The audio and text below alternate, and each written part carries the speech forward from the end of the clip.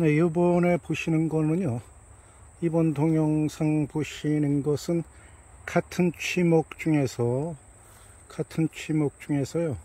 어, 더 간편하고 더 쉽게 많이 얻을 수 있는 아, 그런 취목 기법을 보여드리고요. 아, 요런 거는 그 장미, 아, 기트랗게 늘어선 그 장미 높이떼기에도 많이 사용을 합니다. 아, 그래서 공중에서 높이 떼기 할 수도 있고 더 쉬운 거는 우리가 그 통상적으로 말하고 있는 그 휘무지라고 하는 게 있었어요. 그것도 아, 취목의 그 일종이죠. 저취목. 아, 근데 요 저취목 그러니까 저는 공중에 흙을 매달아서 할 수도 있고 요 방법으로 그 다음에 더 쉬운 거는 땅에 휘무지 형태로 묻어도 됩니다. 근데 요게 이제 그 더 쉬운 게 뭐냐면 요거는 칼집을 내고요. 칼집을 비스듬히 내고 그 비스듬히 낸 데다가 비스듬히 낸 데다가요.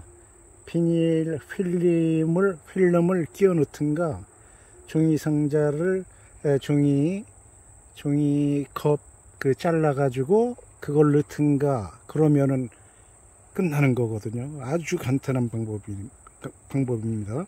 그래서 그거 시연을 음, 잠깐 더 보여드릴게요. 그래서 요거는 덩굴성 수종에는 어느 거나 다 됩니다.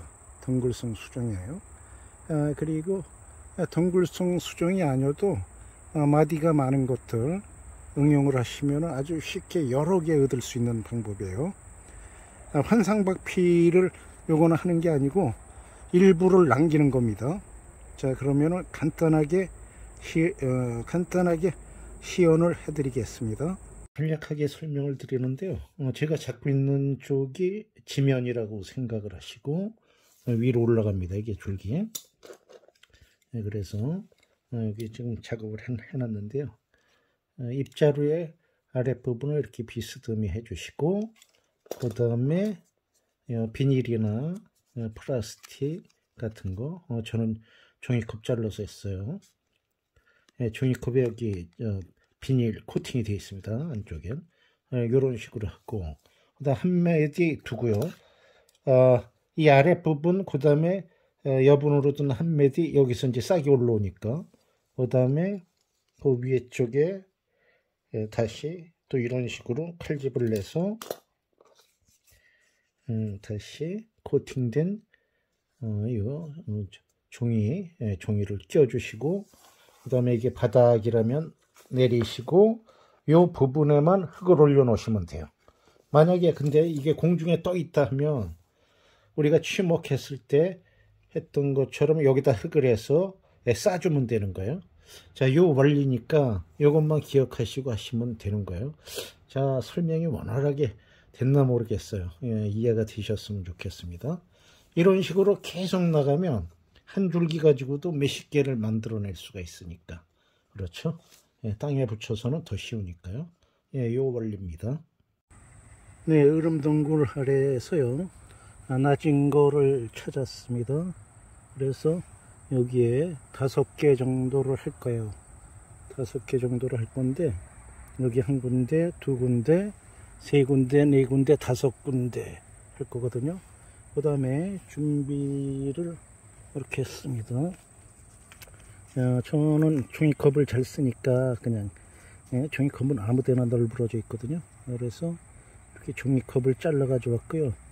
그 다음에 이 용도가 뭐냐면 종이컵으로 하시든가 어, 비닐 좀 두꺼운 필름으로 하시든가 하는데 에, 비닐이 있으면은 이게 에, 지금 이게 잘라 놓은 건데 이 잘린 상태가 더 이상 붙지를 않아요. 그 비닐 때문에. 근데 이 종이컵 안에는 아주 얇은 비닐막이 하나가 있습니다. 그래서 요거 가지고도 충분해요. 요거 가지고도 충분하니까요.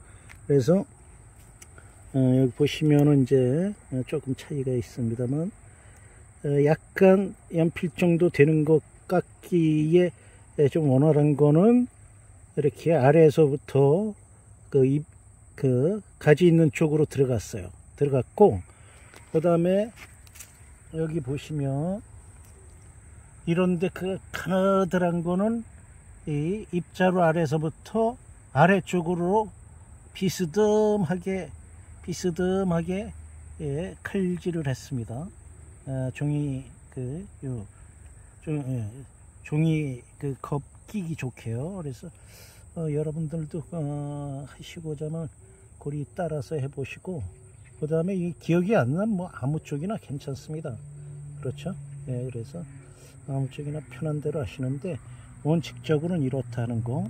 그 다음에 아래쪽을 해주시는 게 정상이에요. 땅에서 가까운데 여기 이제 묻힐 거니까 에, 묻힐 거니까요. 이, 이 종이가 이렇게 들어가서 이렇게 들어갈 겁니다. 그래가지고 요게 땅에 묻혀야지 되니까 가급적이면 아래쪽을 해 주십시오 하는 거. 요 상태 이렇게 두고 흙을 덮어도 되는 거예요. 간단하게는. 흙을 덮어 놓으면 이게 휘무지의 일종 플러스 그거보다 더 확실한 방법이니까 이 방법으로 하면 이게 안 붙으면서 뿌리도 휘무지 때보다 훨씬 더 빨리 내리는 거죠. 확실하게 내리고. 자, 그러면은 이런 식으로 해 보겠습니다. 네, 그래서 종이컵의 안쪽이 위쪽으로 가겠어요. 위쪽으로 가겠고, 어, 이렇게 찔러 놓고요. 여기다가 이제 흙을 부어주면 되는 겁니다. 흙을 한삽 떠가지고, 네. 이런 식으로 올려주고요.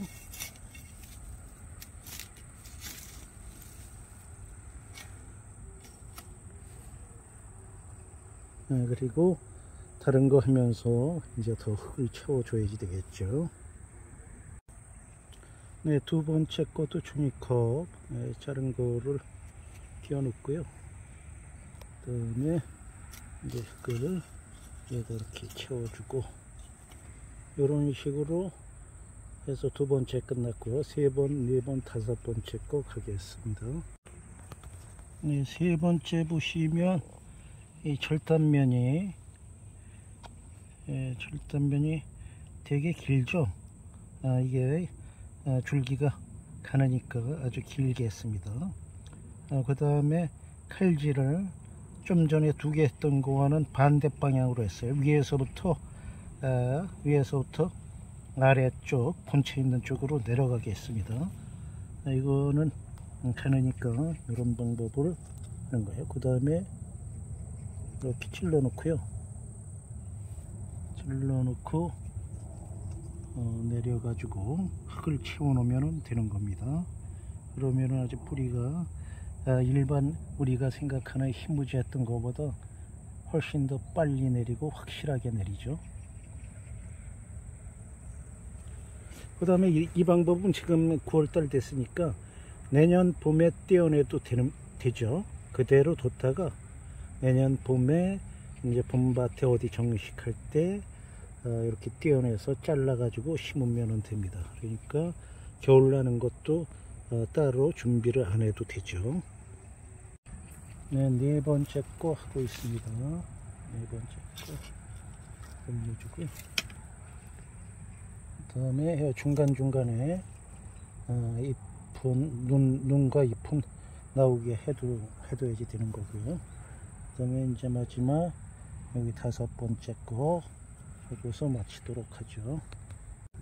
네, 여기는 어, 그냥 비닐, 비닐 가지고 하겠습니다. 그래서 여러분들은 어, 비닐이 있으시면 비닐로 하고 그렇지 않으면 네, 종이컵 잘라 가지고 하시면 돼요.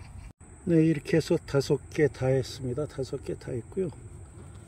어, 이거 아주 되게 간단하죠. 아주 시간도 뭐 어, 별로 안 걸리고 그 다음에 한 줄기 가지고 다섯 개 뚝딱 해놨습니다. 그 다음에 이거는 결과를 안 올려드려도 될 듯해요. 100% 100% 요거는 성공을 하는 거기 때문에.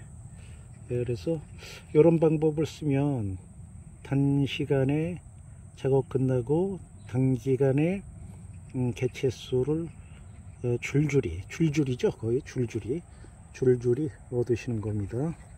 네, 그래서 아, 이런 방법도 있다. 쥐목에는 네, 그거를 보여드렸습니다.